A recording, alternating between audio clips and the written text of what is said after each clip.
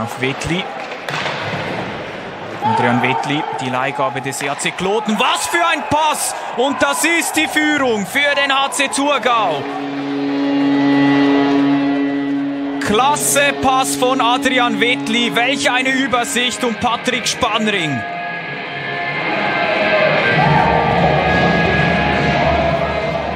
Das kam jetzt aus dem absoluten Nichts.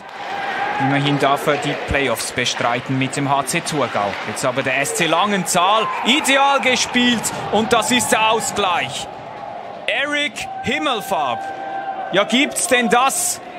Zwölf Spiele bislang, noch kein Treffer und ausgerechnet in den Playoffs trifft der 38-Jährige zum 1:1 Ausgleich. Und das ist die Chance hier für Robin Niffeler und die Scheibe ist drin. 2 zu 1 für den SC Langenthal.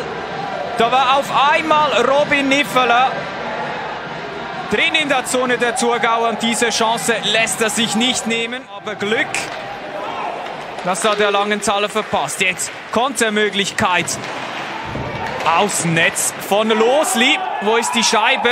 War doch drin und so ist es. Das ist der Ausgleich.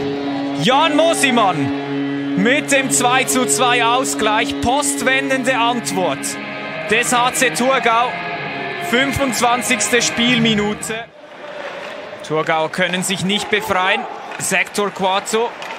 Schlinge zieht sich zu und da ist das 3 zu 2. Ero Elo mit dem One-Timer ins Glück.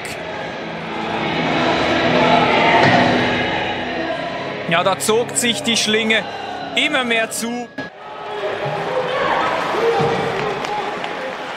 Fabio Clay hat da den Screen vor dem Tor und das ist einfach klasse gespielt von den Oberargauern. 4 zu 2, Fabio Clay auf Dario Kummer. Und das Tor, das war dann einfach leer, weil so gut herausgespielt.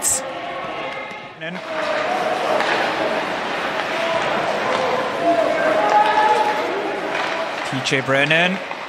Brennan und was für ein Tor! TJ Brennan mit dem 3 zu 4.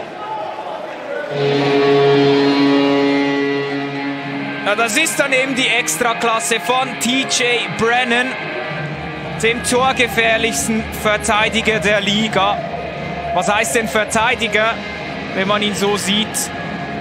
Das kann nur fast ein Stürmer sein.